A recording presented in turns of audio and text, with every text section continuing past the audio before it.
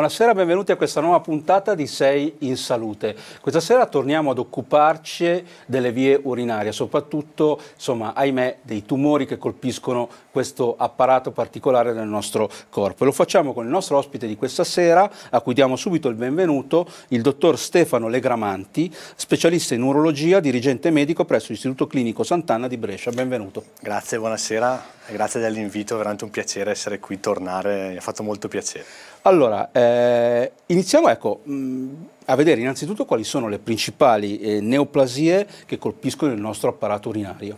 Allora, intanto secondo me bisogna fare un attimo di chiarezza su cosa è l'apparato urinario, per cui... Assolutamente sì. Partendo dai reni e scendendo poi per quei tubi che portano l'urina fino in vescica che si chiamano ureteri e poi arrivare dalla vescica e l'uretra. Il rene è un organo un po' particolare perché è formato essenzialmente da due unità distinte che sono la parte che filtra l'urina e la parte che poi invece viene immagazzina l'urina che viene filtrata e poi viene spedita fino alla vescica. In, in questo organo i due tipi di tumori sono molto differenti, cioè tumori che nascono dalla parte funzionante del rene non hanno nulla a che vedere con i tumori invece che nascono dalla parte di raccolta dell'urina che sono invece in realtà lo stesso tipo di tumori che troviamo per l'uretere e poi per la vescica. Perciò quando parliamo di tumori delle vie urinarie ci soffermeremo su quei tumori che nascono dal sistema escretore, perciò da, dai calici renali dalla pelvi, passando per gli ureteri e arrivando poi fino alla vescica. Ecco, ma oltre a questo esiste anche una classificazione di tumori o quella che si utilizza, eh, ovviamente poi i nostri eh, telespettatori non conoscono, che è quella che classifica i tumori in generale? Allora, ci possono essere diverse classificazioni, non ce n'è solamente una, dalla sede diciamo, certo. della, della della neoplasia, infatti si possono dividere dei tumori delle vie escretrici, quindi dell'alta via, okay, che comprendono sia i calici che la pelvi renale che l'uretere, e tumori invece della bassa via urinaria, quindi della vescica o dell'uretra, oppure possono essere suddivisi invece per la tipologia di tumore che insorge. Nella maggior parte dei casi sono tumori uroteliali che nascono proprio dalle cellule dell'urotelio, che sono quelle che tappezzano tutta la via escretrice. Okay oppure ci possono essere in una percentuale minore dei tumori tipo squamosi, perciò che non derivano direttamente dall'urotelio. La maggior parte, come abbiamo detto, vengono dall'urotelio e rendono ragione circa il 75% delle neoplasie eh, urologiche di questi, di questi, tratti. Esistono poi delle altre classificazioni, ma principalmente sono, certo, sono certo. queste. Sì. Ecco, ma eh se vogliamo vedere invece la frequenza si, con cui si presentano nella popolazione? Allora, eh, ripeto, parlando sempre solamente diciamo, di tumori uroteliali, quindi sistema escretore, uretere, vescica. Sono circa 10 persone su 100.000 abitanti all'anno nell'Unione Europea.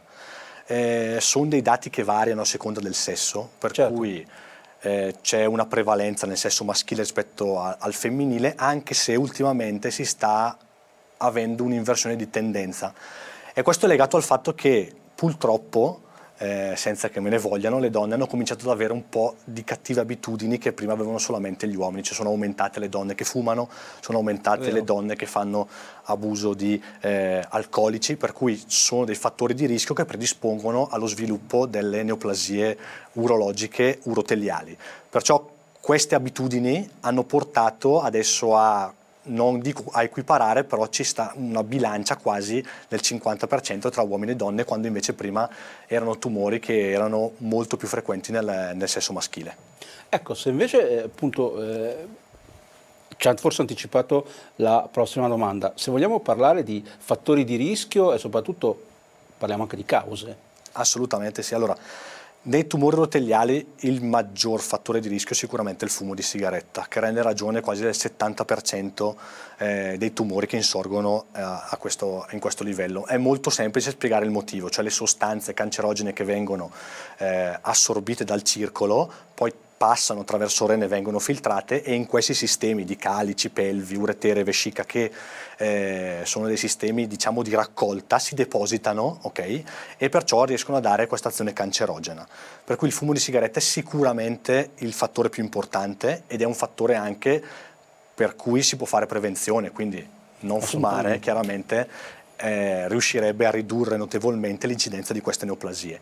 Ci sono poi dei fattori invece che sono legati a fattori occupazionali, per cui eh, l'esposizione prolungata a solventi o a vernici particolari eh, tipi che però chiaramente erano molto più frequenti quando non c'era questa attenzione nei confronti della medicina preventiva, della medicina del lavoro. Attualmente con l'utilizzo di eh, presidi eh, sul, sul luogo di lavoro il numero di neoplasie legate a questo tipo di problematiche è calato molto. È curioso vedere come gli studi adesso si stiano spostati invece sul capire se anche la sigaretta elettronica o questi nuovi tipi di fumo possono dare questo tipo di problematiche. E in realtà sostanze cancerogene sono state ritrovate eh, nelle vie urinarie anche nei pazienti che fanno utilizzo di sigarette elettroniche, ma al momento non c'è nessuna correlazione diretta come invece per il fumo certo, di sigaretta, certo. sul fatto che possono poi portare a essere causa di una percentuale tumore de della, della, via escretrice delle vie urinarie.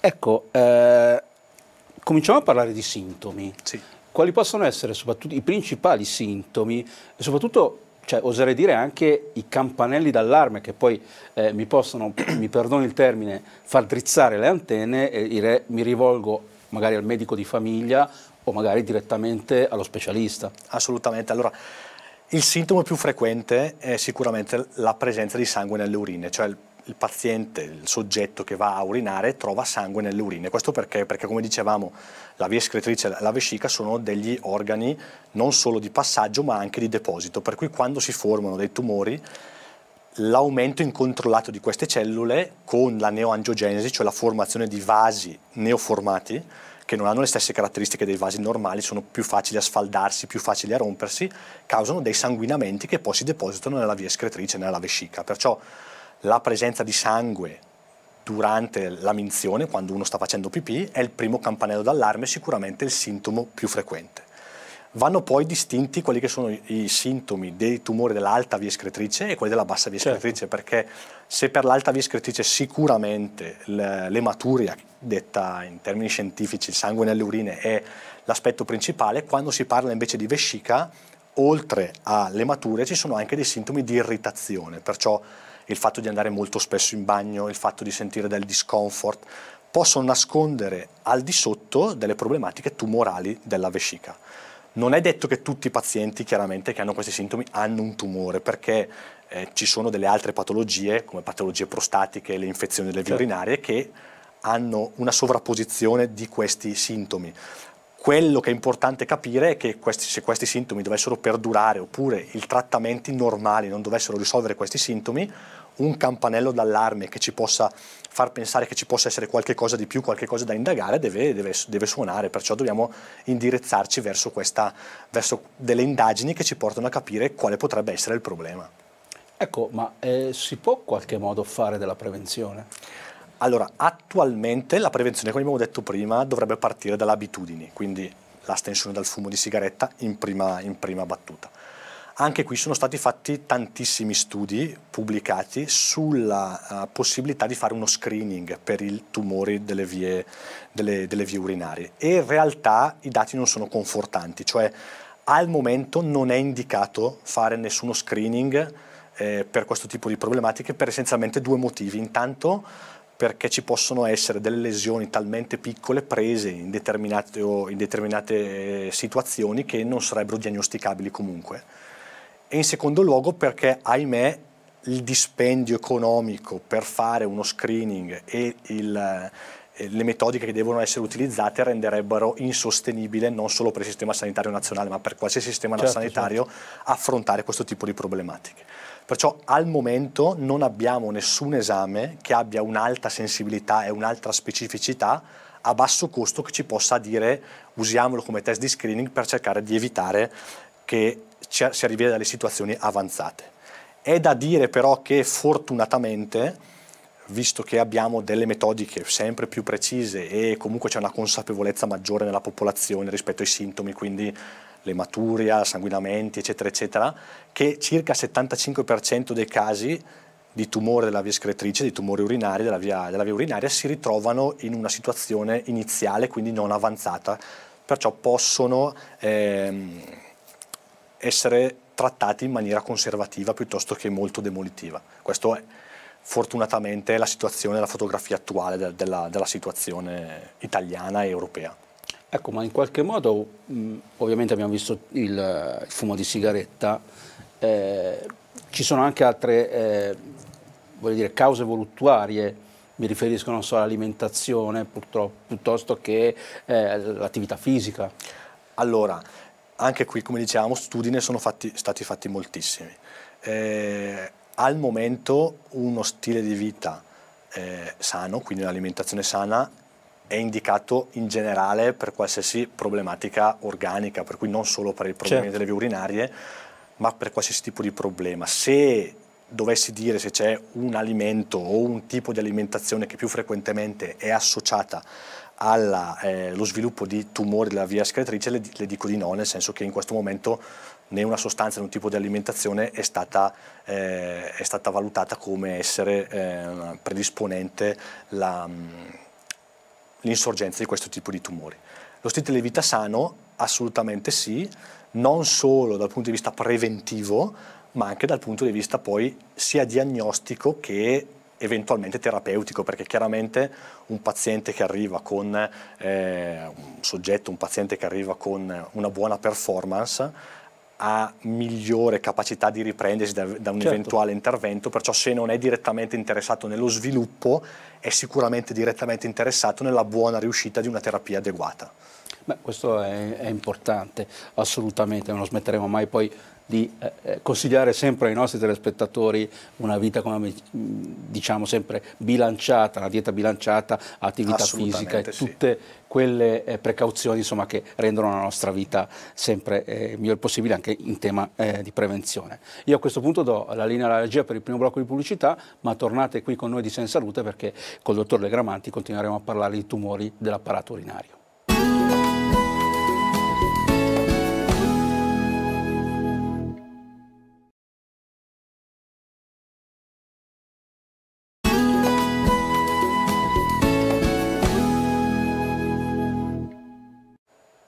Bentornati qui con noi di Sen Salute, questa sera stiamo parlando dei tumori dell'apparato urinario. Eh, allora, dottor Legramanti, abbiamo visto, insomma, abbiamo già diciamo, inquadrato il problema e eh, parliamo invece adesso di diagnosi, giustamente l'abbiamo un po' anticipato, ma eh, eh esattamente quali esami strumentali vengono utilizzati e soprattutto quali sono insomma, i passi da compiere una volta che, ahimè, si prospetta il quadro di una possibile neoplasia? Allora, ci sono degli esami che vanno su vari livelli, chiaramente si parte da degli esami di primo livello, quindi poco invasivi, che ci possono dare delle informazioni importanti, come per esempio una, dico banale anche se non lo è, ecografia dell'addome, dove si possono vedere eventualmente delle masse renali, dei problemi di idronefrosi che possono nascondere una difficoltà al passaggio dell'urina fino in vescica, dei mm, immagini di plus della vescica, quindi dei polipi vescicali volgarmente detti. E, fino a passare poi a delle indagini citologiche, quindi fare un esame particolare dell'urina, che è il citologico urinario, in cui non si va a valutare la qualità e la quantità delle sostanze disciolte nell'urina stessa, ma è proprio un esame citologico, cioè si vanno a centrifugare a prendere i nuclei delle cellule che sono presenti nell'urina e fare un'analisi di questi nuclei. Queste sono delle indagini di primo livello perché sono delle indagini poco invasive, se non per nulla, e che danno delle buone indicazioni, anche se la diagnostica fine, il gold standard per i tumori diciamo, delle vie urinarie è sicuramente l'attacco con il mezzo di contrasto. Questo perché? Perché ci fornisce non solo una informazione dal punto di vista morfologico, quindi di un'eventuale presenza di un tumore, ad esempio del rene, ma la sua posizione, la sua dimensione, certo. la, la presenza di organi vicini che possono essere stati già intaccati, e poi ci dà anche un'informazione funzionale su come funziona il sistema dell'apparato urinario. Questo è molto importante per la pianificazione poi di un eventuale trattamento. Perciò direi che come gold standard in questo momento l'utilizzo dell'attack con il mezzo di contrasto o Urotac è sicuramente il mezzo principale per fare una diagnosi di tumore delle vie urinarie. Si discosta un po' da questo per esempio la prostata perché eh, anche se non è un organo direttamente eh, interessato nelle vie urinarie, è un organo sicur sicuramente contiguo e che fa certo. parte dell'apparato urogenitale. In questo caso l'ATAC ha un valore assolutamente marginale, ma ci sono degli esami tipo il PSA che ci possono indirizzare verso una diagnosi che poi può essere fatta o con una biopsia prostatica o con una metodica intermedia tipo risonanza magnetica che ci può dare una mano nel eseguire una biopsia solamente nei pazienti che necessitano veramente. Per cui direi che sono questi in questo momento le... Sulla biopsia invece delle masse renali ci sono dibattiti aperti perché molto spesso l'imaging, cioè la risposta che ci dà un attacco è già sufficiente per indirizzare un percorso diagnostico, perciò molto spesso la biopsia renale non viene eseguita perché non dà delle informazioni ulteriori rispetto a quelle che potremmo avere con un attacco. Ecco, io vorrei mh, soffermarmi un po' in particolare su eh, tre tappe, mi consento un po' questo termine improprio, dell'apparato urinario, quindi rene, vescica e ovviamente per il mondo maschile, perché poi come vedremo eh, insomma, è anche abbastanza, ahimè, frequente, la prostata. Eh, ecco, con che approcci anche a livello terapeutico eh, sono, eh, sono, i tumori, iniziamo dal rene? Dal rene. Allora, eh, devo dire che mh, mm, negli ultimi anni la tecnologia, sia dal punto di vista diagnostico, come dicevamo prima, c'è una migliore definizione delle immagini, sia dal punto di vista terapeutico con delle metodiche mini invasive ha permesso eh, quando ci sono determinate eh, circostanze per cui il tumore che troviamo nel rene è localizzato, perciò non ha, non ha intaccato altri organi, è posizionato in una certa zona del rene e non è molto centrale, diciamo, di intervenire riuscendo ad asportare solamente la massa renale e non tutto il rene. Questo è un, un passo molto importante dal punto di vista terapeutico perché ci permette di salvaguardare una parte che invece è funzionante ed è buona, di cui il soggetto, il paziente, ha bisogno e che può permettergli di vivere una vita assolutamente normale nonostante abbia fatto un intervento per un tumore renale. È chiaro che non è possibile per tutti i pazienti né per tutti i tumori che noi certo. troviamo nel rene, però diciamo che l'indirizzo attuale è quello di cercare sempre di più di localizzare la malattia, intervenire su quella e poi magari fare dei controlli ravvicinati per vedere che l'intervento sia andato a buon fine. Questa è una cosa che è particolarmente importante nei soggetti, per esempio, che possono essere diabetici o che hanno già un'insufficienza renale, in cui mantenere anche una parte di parenchima renale funzionante sano dove c'è stato il tumore li aiuta veramente a non finire in dialisi, a non avere problemi successivamente. È chiaro che questo poi è permesso in maniera molto più facile per il chirurgo e eh, buona riuscita per l'intervento da nuove tecnologie di cui probabilmente parleremo successivamente. Per quanto riguarda invece la vescica, dobbiamo distinguere due grosse situazioni quando noi ci approcciamo per fare dapprima una diagnosi e poi una terapia. Cioè questi polipi che vengono volgarmente detti così vescicali non si differenziano tanto sulla malignità o la benignità perché sono praticamente tutti dei carcinomi maligni. Ma quello che fa la differenza, se noi pensiamo alla vescica come a una cipolla fatta tutta a strati, è quanto questo polipo, le radici di questo polipo si approfondano dentro la parete vescicale. Per cui se siamo in una situazione in cui c'è un interessamento superficiale della vescica, possiamo intervenire solamente togliendo il polipo dall'interno, perciò facendo un intervento endoscopico e successivamente valutando una non ripresa dalla malattia. Quando invece purtroppo il polipo si addentra troppo e arriva ad arrivare fino al muscolo della vescica, eh, l'intervento che viene proposto è quello di asportazione della vescica stessa. Eh, anche qui nei soggetti che ne possono beneficiare, per esempio una cosa che si può fare per cercare di migliorare la qualità della vita del paziente è ricostruire con un segmento intestinale una vescica per cui non avere più il sacchetto di derivazione, ma avere una nuova vescica fatta con l'intestino che viene ricostruita e posizionata al posto della vescica che è stata, che è stata, che è stata tolta. Anche perché insomma una vita con il sacchetto non è mai bellissima. Non, non è mai bellissima, sì, non è mai bellissima. Eh, sulla prostata invece ci sono vari approcci che possono essere sia la radioterapia, fino ad arrivare a una sorveglianza nei casi più eh, meno importanti, meno, meno, difficili, fino ad arrivare poi all'intervento, all'intervento di asportazione della prostata. Tutte queste tre tappe eh, di cui si stava parlando beneficiano sicuramente negli ultimi anni dall'implementazione della tecnologia, per cui se da prima gli interventi erano fatti col taglio, volgarmente detto, adesso con la laparoscopia ed in particolare con la robotica noi riusciamo a dare dei risultati migliori con un'invasività minore, questo sicuramente è un vantaggio per il paziente. Ecco, eh, tralasciando ovviamente la prostata che ahimè è un problema di noi maschietti, ma esistono differenze tra, eh, anche come sintomatologia, eh, anche di trattamento ovviamente, tra uomo e donna?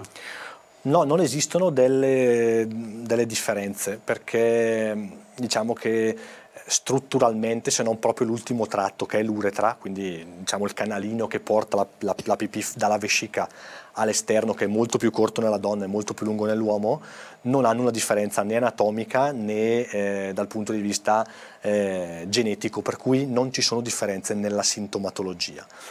Quello che può, quello che può essere differente invece sono i fattori di confondimento, cioè se nella donna è molto più frequente avere so, un'infezione delle vie urinarie che può mimare la presenza invece o diciamo mh, nascondere la presenza di un problema tumorale della, della, della, della vescica, nell'uomo essendo meno frequente eh, è molto più difficile scambiare della sintomatologia tipo irritativa con un problema invece eh, infettivo e non un problema tumorale. Perciò non ci sono delle differenze nei sintomi, se non in rarissimi casi, né nelle differenze di trattamento. Eh, a parte per la prostata, chiaramente. Certo, certo, ovviamente. Ecco, ma eh, non so se è una leggenda metropolitana, insomma, una fake news, come si dice. Sì. Eh, nella donna, per esempio, in menopausa, c'è eh, quasi, cioè ci si può confondere con i sintomi sì, di, eh, a livello della, della vescica? Assolutamente sì, proprio questo eh, è forse l'unica variabilità che c'è perché la menopausa induce una sintomatologia legata all'atrofia dei tessuti, legata al, al rimaneggiamento del, del, degli ormoni circolanti, che può colpire sia il tratto genitale ma anche il tratto urinario, perciò eh, come giustamente hai suggerito, eh, le donne in menopausa possono avere dei sintomi che mimano e nascondono poi invece un tumore vescicale. Classicamente eh, ci si rivolge al ginecologo all'urologo perché ci sono dei sintomi di irritazione, se, se, si sottovalutano questi sintomi per troppo tempo, soprattutto come dicevamo prima, se le normali terapie non fanno effetto, potrebbe esserci che sotto ci siano delle condizioni invece oncologiche che vanno invece mh, sviluppate e vanno diagnosticate. Ah, ecco, questo eh, è molto importante.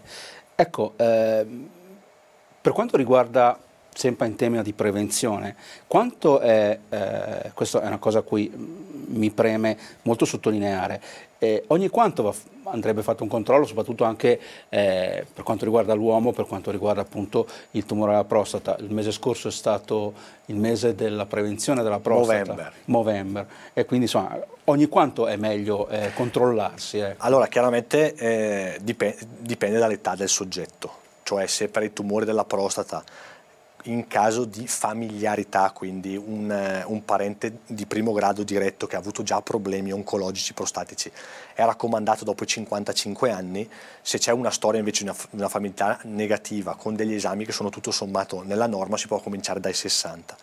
È curioso invece vedere come molto più spesso tumori sia del rene che della vescica vengono diagnosticati come delle, dei tumori incidentali. E mi spiego cioè molto spesso non danno dei, della sintomatologia, in particolare il tumore del rene.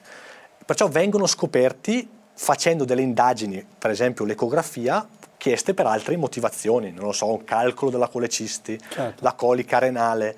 Allora facendo un'ecografia saltano fuori anche la presenza di tumori del rene o tumori della vescica che erano misconosciuti perché non avevano dato segno di sé. Questo aumento nell'utilizzo eh, di metodiche eh, radiologiche per, eh, verso altre patologie che non siano patologie oncologiche dell'apparato urinario ci permette di diagnosticare questi tipi di tumori molto spesso in fase precoce, perciò riuscire a dare una, eh, un trattamento al paziente che è, non è un trattamento molto demolitivo. E questa è una cosa molto importante è importante assolutamente. Ecco, io do eh, a questo punto la linea alla regia per il secondo blocco di pubblicità, ma tornate con noi qui di Sei in Salute perché col dottor Legramanti continueremo a parlare di tumori dell'apparato urinario.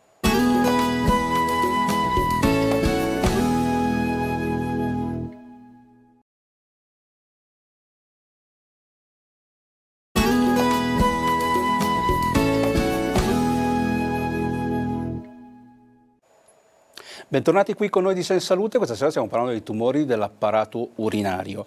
Eh, ecco, mh, mm, vorrei soffermarmi un attimo su quello che dicevamo prima, sulla ricostruzione, perché ovviamente si sente sempre parlare di chirurgia, ahimè, distruttiva, anche se invece giustamente, come diceva lei prima, si va sempre fortunatamente di più verso la, la, eh, conserva verso la eh, chirurgia eh, conservatrice, sì. però parliamo anche di ricostruzione, cioè è possibile ricostruire in qualche modo le eh, strutture anatomiche andate perdute? Sì, in particolare, come dicevamo prima, per la vescica, cioè eh, ci sono delle tecniche che ci permettono tramite l'utilizzo di segmenti di intestino eh, di ricostruire un serbatoio che abbia la stessa funzione della vescica.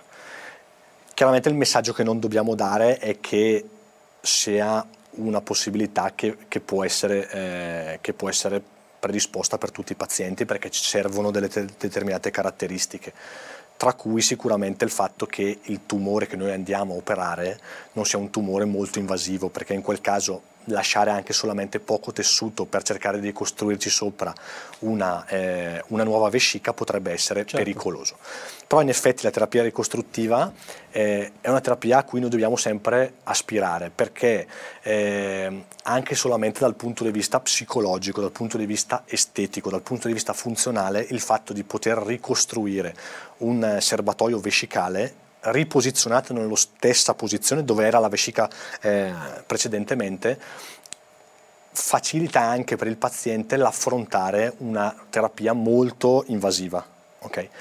Eh, come si fa? Ci sono diversi tipi di, di, queste, derivazioni, di queste, derivazioni, con l'intestino, eh, la più classica viene chiamata VIP o vescica ileale padovana perché è stata è stata studiata e predisposta proprio eh, all'Università di Padova, in particolare dal professor Artibani, eh, e ci permette proprio, tramite lo studio che è stato fatto, di, eh, ci proprio si incide l'intestino in una determinata maniera, vengono risformate delle suture in modo tale che la contrazione che rimane comunque dell'intestino per un certo periodo, perché intestino è, intestino rimane, certo. non dia poi delle fughe di urina. Perciò è stata studiata l'innervazione. Ehm, noi do- sappiamo dove fare queste incisioni per andare a ricostruire poi una vescica che abbia il più possibile una caratteristica di serbatoio e non di contrazione legata alle onde peristaltiche dell'intestino stesso.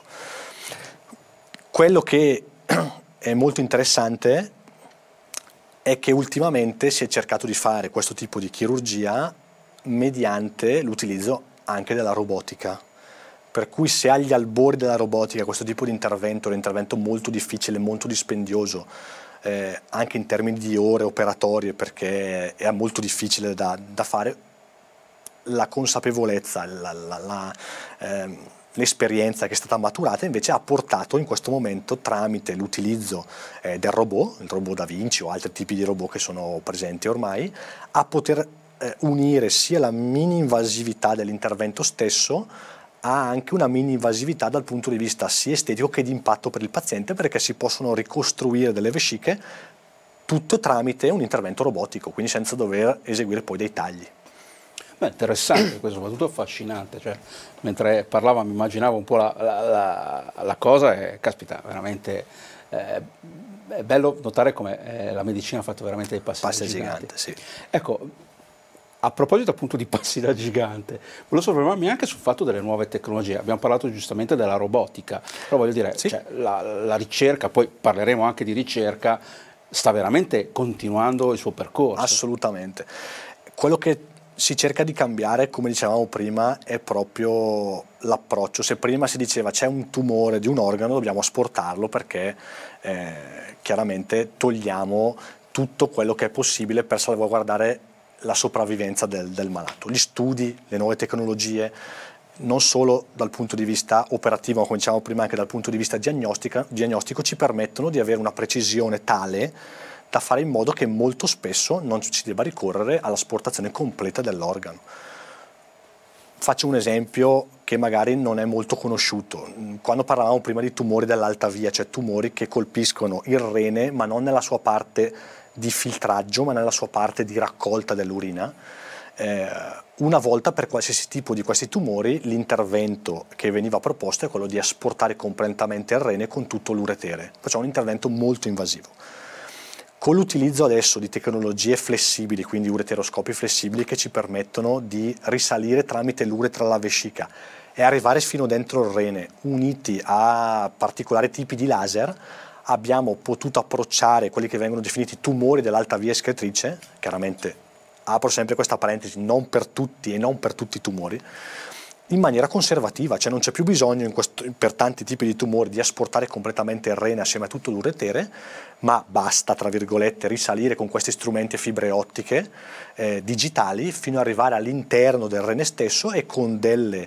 eh, sonde laser particolari andare a bruciare questi tipi di tumori. Questo è sicuramente una delle innovazioni più importanti perché ci permette di salvaguardare il rene come unità funzionante, ma soprattutto e va di pari passo con l'innovazione tecnologica perché una, pensare una cosa del genere prima dell'avvento di questi ureteroscopi molto sottili digitali era praticamente impossibile. Interessantissima questa cosa, ricorda un po' i film di fantascienza. Fine... Quasi un film di fantascienza, sì. Non è fantascienza per fortuna, ma per fortuna realtà. No. Per quanto riguarda invece la ricerca scientifica, a che punto siamo arrivati? Allora, la ricerca scientifica eh, in questo momento sta cercando sempre, sempre più una ricerca del tipo genetico, cioè si sta cercando di capire se, quali possono essere quei fattori di cui parlavamo prima predisponenti eventualmente alla, eh, allo sviluppo di eh, tumori non solo urogenitali ma in di tutti i distretti. Per cui la ricerca in questo momento va verso una eh, consapevolezza su quali eh, sostanze, su quali eh, geni si possa intervenire per cercare di evitare o avere una diagnosi molto precoce. Un altro ramo della ricerca che si sta sviluppando sono quelle sostanze, quindi chemioterapici, immunoterapici, eh, anticorpi monoclonali, che possono essere utilizzati sia in fase pre-intervento per ridurre la massa tumorale, quindi avere un'invasività chirurgica minore, sia su quei casi in cui la chirurgia purtroppo non, non, non è sufficiente. Per cui si stanno sviluppando delle nuove sostanze per la prostata, per esempio, fortunatamente ne si stanno sviluppando tantissime e molto efficaci che eh, contrastano una uh, ricorrenza o una persistenza di malattia anche dopo tumore, perciò pazienti che hanno un aumento del PSA dopo aver fatto un intervento, la radioterapia, eh, che una volta purtroppo dove potevamo solamente tenere sotto controllo cercando di curare i sintomi, eh, ultimamente negli ultimi anni sono state messe in commercio delle sostanze che eh, non solo chemioterapici ma immunoterapici, eh, ormonoterapici che ci permettono di curare anche malattie metastatiche. Questo si sta cercando di fare anche per i tumori della via scrittrice, per i tumori renali, anche se la situazione eh, in questo campo è un pochino più complessa perché i risultati non sono in questo momento così incoraggianti o comunque passi sono stati fatti ma ci devono essere ancora tanti altri passi da fare per dare un buon profilo di eh, sopravvivenza nei pazienti che purtroppo solo con l'intervento chirurgico a volte non riescono a essere curati completamente. Interessante. Eh, ecco, siamo arrivati in chiusura di trasmissione. Possiamo dare dei consigli pratici ai nostri telespettatori e telespettatrici riguardo a, eh, non dico tanto alla prevenzione, ma soprattutto ai famosi campanelli d'allarme e come, eh, non dico curarsi, insomma, prevenire, insomma, eh, cercare che non succeda il peggio, ecco, insomma, che non diventi troppo tardi. Non diventi troppo tardi. Ma il primo consiglio sicuramente è quello di smettere di fumare, per cui chi ci ascolta... Non ci smetteremo mai di dirlo. Non smetteremo mai di dirlo e non smetteranno mai di fumare, ma speriamo, speriamo. è vero, purtroppo. Allora, devo dire che vediamo anche molto spesso dei pazienti che hanno veramente una diagnosi, tumore eh, uroteliale, in cui si spiega che il problema del fumo di sigaretta è che continuano imperterrito a fumare. Perciò secondo me questo è il primo messaggio. Per chi può, per chi riesce a smettere di fumare sicuramente è, una, è la cosa più importante. Detto questo, eh, l'altro consiglio è quello di non sottovalutare mai i sintomi. Cioè ci capita spesso, quando soprattutto vediamo delle, delle situazioni oncologiche avanzate, di interrogare il paziente e sapere che magari già un anno, due anni prima aveva avuto dei sintomi che se indagati avrebbero potuto portare a una diagnosi precoce, perciò a un trattamento molto molto meno invasivo di quello che poi hanno in realtà, ma che sono stati mh, non, a cui non è stata data abbastanza importanza un po' per paura del paziente stesso, un po' perché come molto spesso i sintomi dei tumori urogenitali si mischiano un po' con i sintomi di altre patologie benigne. Perciò, come dicevamo prima, il mio consiglio è non sottovalutare mai i sintomi. Qualora i sintomi come il bruciore urinario, andare molto spesso in bagno, il sanguinamento, eccetera, eccetera, nell'urina, eccetera, eccetera, eccetera, se passano con, normali, eh, con le normali terapie, va bene, ma se non passano, accanirsi continuamente facendo ulteriori cicli di terapie che non servono, eh, potrebbe nascondere invece un problema ben più grave, perciò se l'astensione del fumo e sigaretta è la prima cosa è dare la giusta importanza, la giusta importanza ai sintomi, meglio un controllo eh, piuttosto che poi ritrovarsi a distanza di tempo in una situazione che poi è difficilmente eh, risolvibile. E poi, come dicevamo prima, come suggeriva giustamente lei, l'alimentazione, l'attività fisica, perché il performance status del paziente lo aiuta davvero ad affrontare in maniera molto più, eh, non dico facile, ma molto più consapevole anche un eventuale trattamento chirurgico. Assolutamente, anche questo non lo smetteremo mai di dire, meglio un controllo negativo in più che una malattia eh, invalidante anche in questo caso e successivamente. Benissimo, siamo arrivati alla, alla, fine della nostra trasmissione, io ringrazio il dottor Stefano Legravanti per essere stato con noi, ripeto specialista in urologia, dirigente medico presso l'Istituto Clinico Sant'Anna di Brescia. Grazie, è stato un piacere. Grazie infinite, eh, come sempre do appuntamento alla prossima settimana, ma vi ricordo sempre di andare a visitare i nostri siti web www.informativ.it per quanto riguarda il sito della nostra eh, trasmissione www.tecnomedicina.it per quanto riguarda il nostro eh, sito web di informazione medico-scientifica. Ringrazio Andrea Regia, ringrazio RBM Group, ringrazio come sempre l'emittente 6 La TV e come sempre finale di trasmissione non vi resta che augurare a tutti buona salute.